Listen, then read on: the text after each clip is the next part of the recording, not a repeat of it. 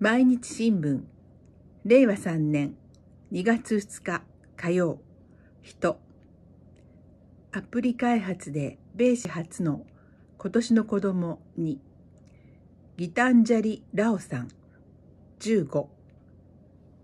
科学で社会の問題を解決したい。その願いから。飲み水に含まれる。鉛を探知する装置や。ネットいじめを防ごうとするアプリを開発してきた。アプリは人工知能 AI でいじめとなり得る単語を探知し、別の言葉に置き換えるよう提案する。ティーンエイジャーのために作った。強制したり、罰したりするのではなく、気づきを与えるものにしたかった。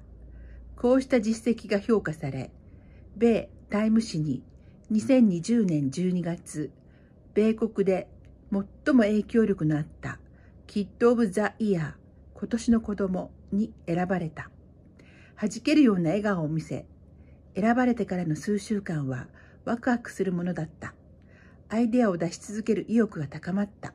と喜びを語った。17年から世界中の子供を対象にインターネットでイノベーション、技術改革、ワークショップを開き、発明の過程を紹介したり、アイデアを出してもらったりしている。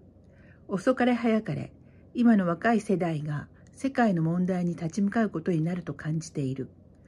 子供は大人にない視点がある。3歳の子でも素晴らしいアイデアを持っている。スウェーデンの環境活動家、グレタ・トゥーンベリさんに感銘を受けたという。彼女が声を上げたように、子供たちでタッグを組んで、できることをやっていく必要がある。私たちには変化を起こすチャンスがある。大きな夢を持つことを恐れず、これからも突き進んでいく。